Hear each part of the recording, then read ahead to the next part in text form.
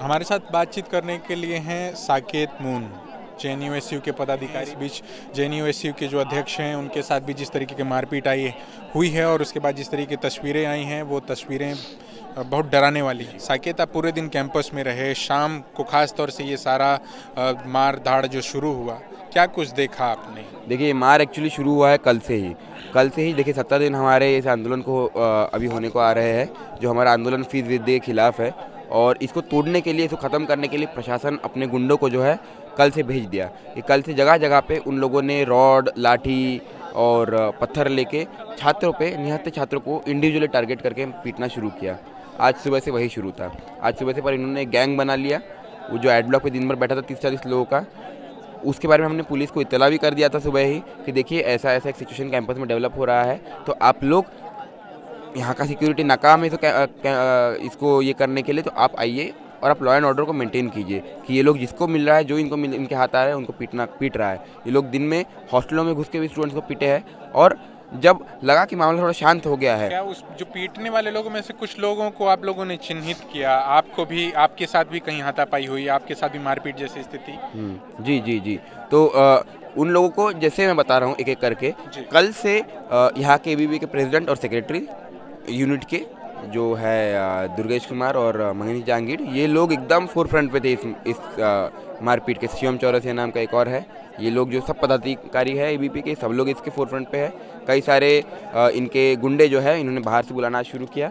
और जब ये सब हो रहा था तो आज शाम को जे टीचर्स की तरफ़ से इसी जगह पे जहाँ पे हम अभी खड़े हैं एक शांतिपूर्ण तरीके से एक पीस धरना एक शांति के लिए अपील करने के लिए वायलेंस के खिलाफ एक धरने का एक आयोजन किया गया था। यहाँ पे जे टीचर्स ने अपना बात रखा जे स्टूडेंट्स ने अपना बात रखा स्टूडेंट यूनियन ने अपना बात रखा और उसके बाद में जब वो खत्म हो रहा था साढ़े छः सात बजे के करीब तो हमने देखा कि यही पीछे से करीबन डेढ़ सौ लोगों का एक भीड़ एक मॉब हमारे तरफ़ बढ़ रहा है। उसके अच्छा, हाथ में डंडे हैं।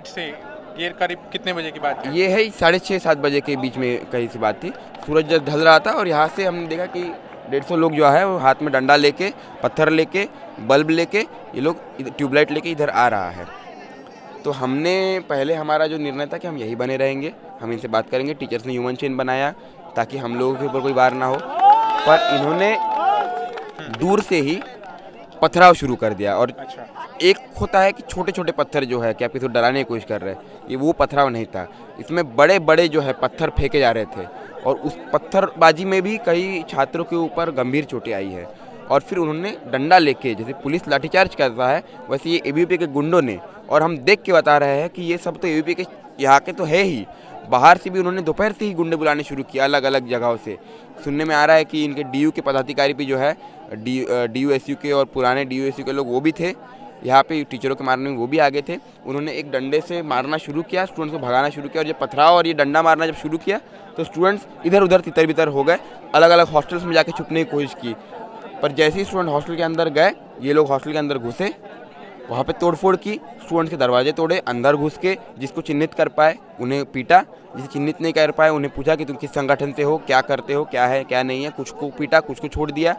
गर्ल्स विंग में भी घुसे ये पुरुष जो है, जो गुंडे हैं, वो लोग गर्ल्स विंग में घुस के वही सेम दरवाज़ा तोड़ना, घुस के मारना, ये सब हरकतें उन्होंने वहाँ भी की।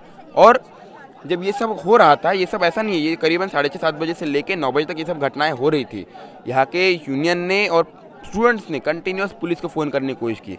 यहाँ पे टीचर्स पुलिस थाने पे पहुँच के ये अपील करने के लिए कि आप पुलिस को भेजिए लॉ एंड ऑर्डर को मेंटेन किए, पर देखिए पुलिस थाने में कोई नहीं है। ना एसएचओ है, ना एसीपी है, ना एसआई है, कोई नहीं है, सब गायब।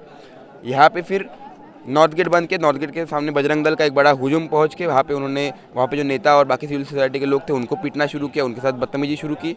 अंदर ये तीन घंटा ये मारपीट चला हॉस्टल टू हॉस्टल घूम के ए के गुंडों ने मारा।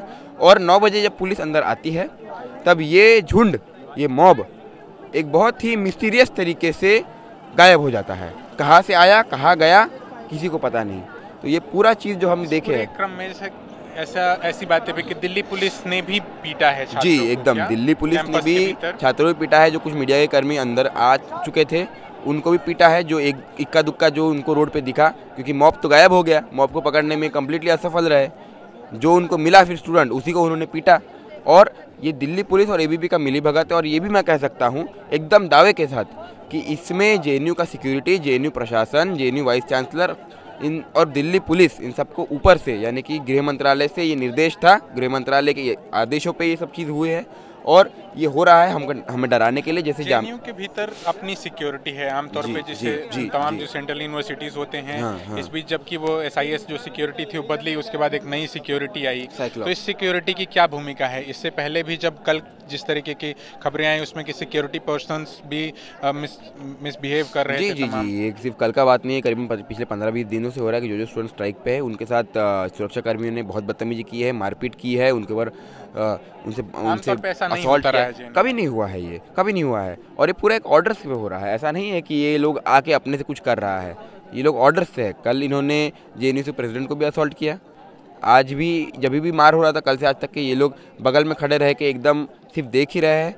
कुछ कर नहीं रहे हैं। और अगर इनको लग रहा है कि हमसे कुछ नहीं हो पा रहा है तो पुलिस को भी नहीं बुला रहे हैं। तो ये सारा मिली भगत जो है और ये एक प्लान तरीके से हो रहा है गृह मंत्रालय से कि Jamia M U D U हर यूनिवर्सिटी में इस तरीके का दंगा इस तरीके का हिंसा करके छात्रों को डराया जाए धमकाया जाए। क्यों हो रहा है और आगे क्या योजना है? संक्षिप्त में ये उत्तर चाहता हूँ संक्षिप्त में मैं बता बताऊँगा आपको कि ये हो रहा है इसलिए ताकि यूनिवर्सिटी डर जाए ताकि एक ऐसा आइडिया दिखाया जाए कि यूनिवर्सिटी में जो छात्र है वायलेंट होते हैं वो अ, वो अलग अर्बन नक्सल होते हैं वो अलग अलग अलग जो हमें उपमाएँ दी जाती है वो सब चीज़ होते हैं।